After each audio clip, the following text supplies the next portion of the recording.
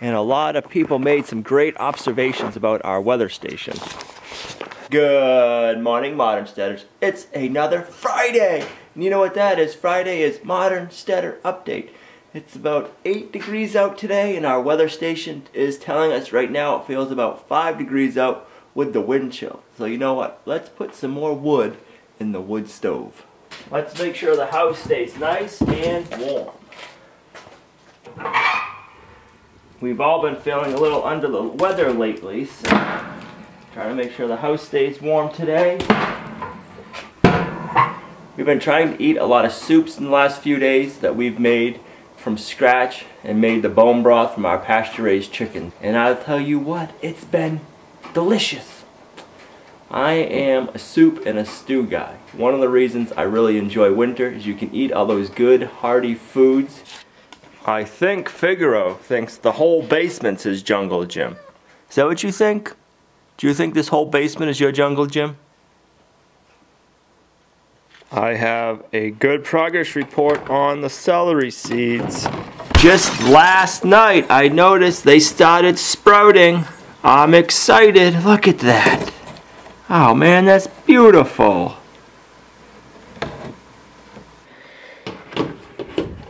That excites me because just yesterday while I was working, I was thinking, man, my celery seeds have been put in the soil blocks for over 10 days and they haven't germinated. When I came home, I sprayed them down, watered them, and I noticed that. So I was excited to see making good progress. We're having good luck so far in our growing season this year.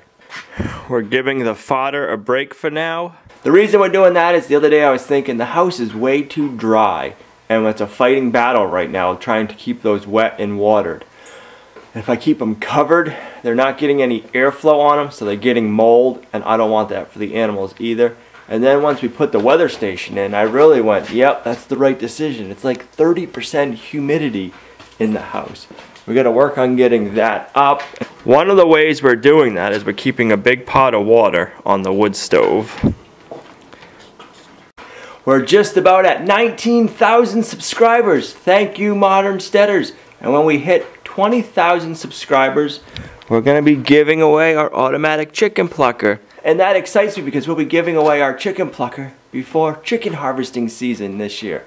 So one lucky Modern Steader is going to be processing their chickens and not having to hand pluck this year. That's going to be fun for them. If you want to enter the giveaway, I'm going to put a link here in the description down below. Let's check on the cave.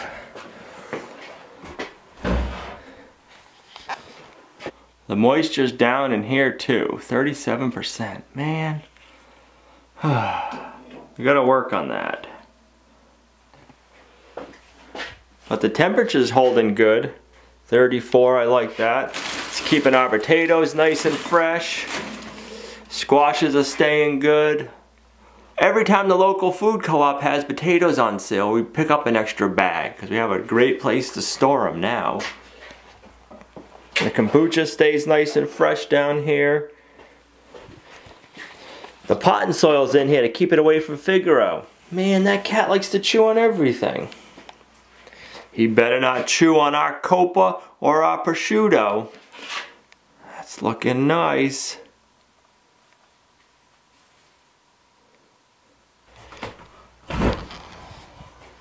Our concrete countertop has dried up nicely. I just got to work on our finish on that. We should be doing that in the next few days. I've been experimenting with something on the top edge. Not going to tell you what that is yet. I think it's going to look good. I'm excited to get the countertop finished. I think Gina and Olivia are too. We're all looking forward to being able to use our desk. Update on the DeWalt tools. We've been putting them through the paces at the house we're building for work, and I've just been amazed with how long the batteries last. There's a few more tools I'd like to get. My next purchase, I'm not sure for a tool what it would be. I'd really like to get a framing gun that they make. Fits the same battery system. The jigsaw that they make is very nice. I think those would be one of my two next purchases. But the other thing that I think would come in really handy is one more battery. We're to be working on a chicken brooder. We have some of the materials there for my original plan. But I think I'm to change it up a little bit. A lot of times when I'm making projects, I'm using materials we have around our homestead here. And I think that limits it a little bit to what other people can do. So we got designs for a new chick brooder that you can make pretty simply with all store-bought material. It's going to kind of be like our $30 chicken coop in 30 minutes that anybody can build with going to your local Menards or Lowe's or Home Depot. One of the best parts about the chick brooder is it's going to be modular. You're going to be able to put it together, take it apart, it's going to lie flat in a corner of your garage, basement, wherever. That's one of my big things with a chick brooder is you only use it a couple times a year. You don't want to have this huge monstrosity hanging around or something big that you got to store. So I think this is going to be a big game changer and I'm looking forward to making it.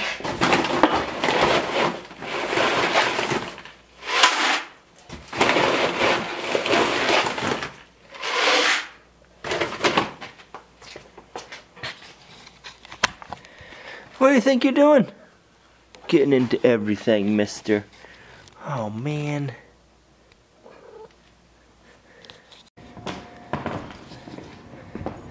The weather station's working awesome. I really am enjoying the wind speed and wind direction and seeing the wind chill. Yeah, it's a little brisk out this morning.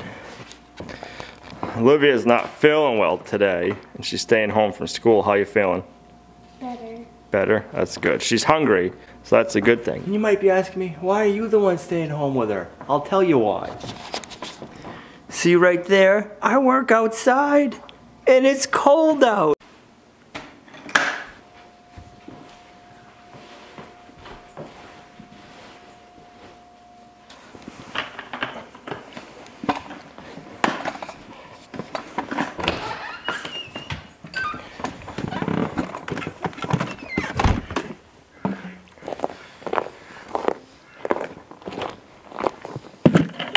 Really enjoy the community we have here at Lumnah Acres.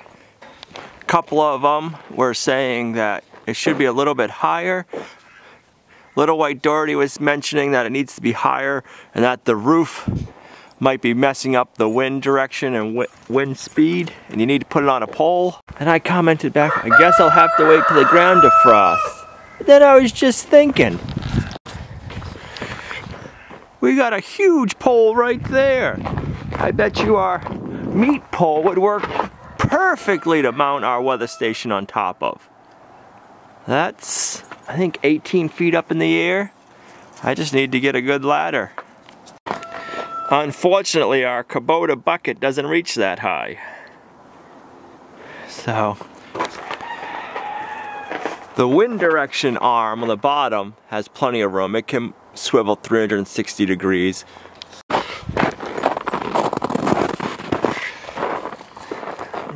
On top of our snowbank. You can't see it, the darn sun.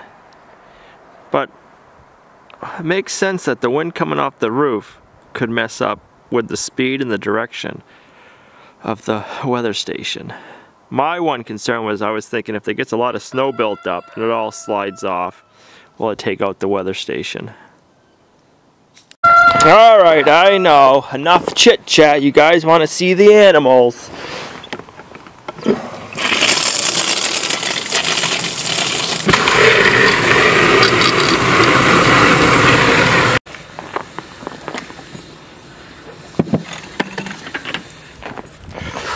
Our chickens have started laying a few more eggs lately. Yesterday we got four. Been getting three the last few days. Gina informed me that we actually have a whole dozen eggs in the refrigerator. We haven't had that in probably a month. Good morning, chickies. How's the greenhouse treating you? The deep bedding's looking nice. Good morning, Andy. Morning, sir.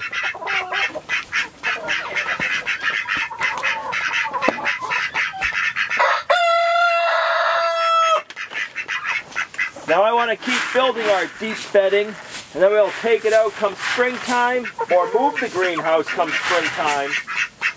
And then we're going to compost all this wonderfully enriched hay and turn it into some beautiful compost for our garden. Right?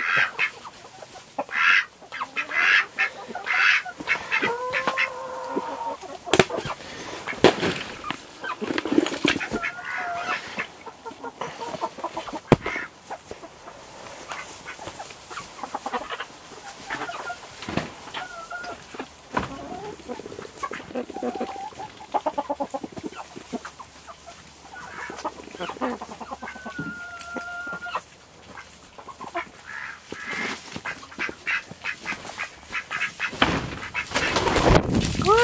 That was a close flyby.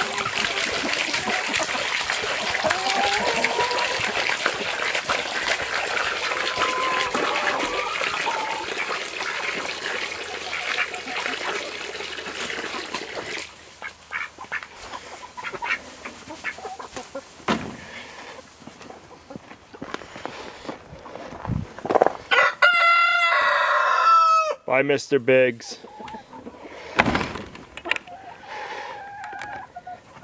Let's go check on the pigs. I'll bring them their water, then I'll come back and get their food. They'll be excited for that. I want to let them out, but it looks like snow in here, but it's really just all ice. So I'm afraid if I let them out out here, they'll be sliding around and breaking a foot or something. I think I want to wait till it either all melts or we get a little bit more snow. That sounds kind of odd, but the snow will give them more traction. Good morning, girls. They're being stubborn. they don't want to let each other out. oh, big stretch. Guess this is their first time getting out for the morning.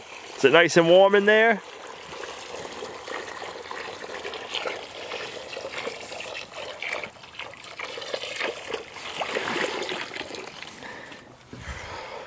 Their hay's looking good. Bring some more feed out for them.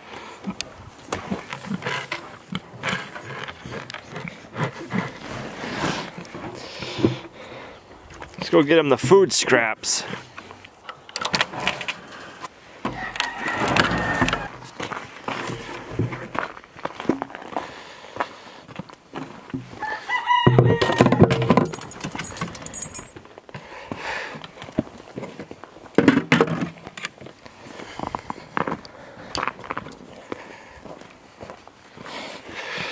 Girls smell that?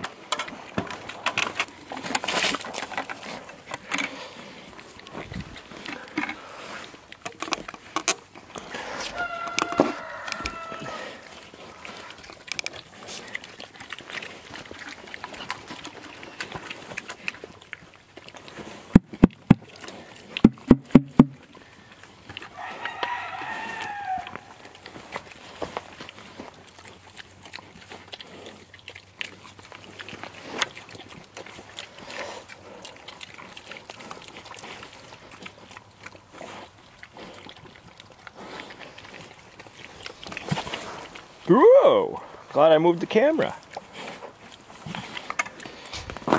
Alright, let's bring everything back in the house. We'll go get another bag of grain for them and make sure they have plenty of food out here to keep them warm and keep them growing.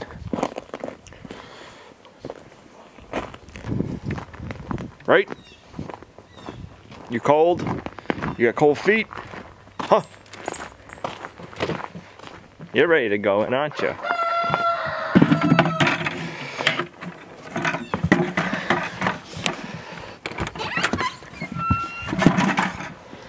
How's that cereal? Meh. Keeping an eye on us?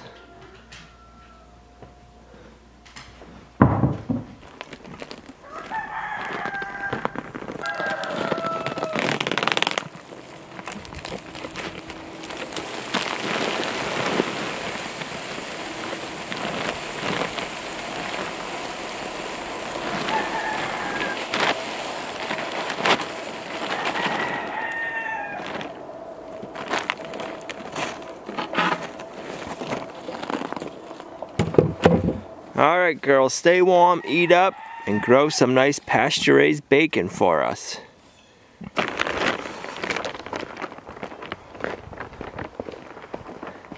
It's a nice, beautiful, clear day out today.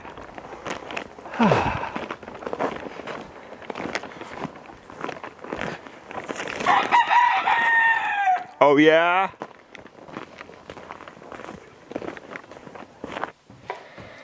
Since we're not feeling 100% today, What is better for us than some homemade chicken noodle soup made with our own pasture raised chickens? This bone broth is going to be so good for us.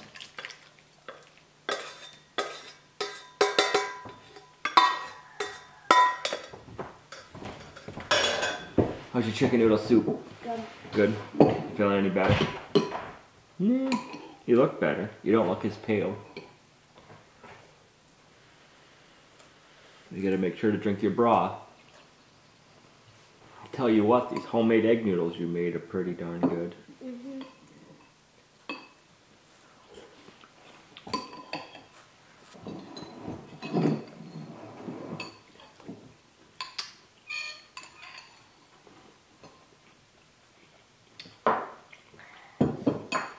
Pretty good, ain't it?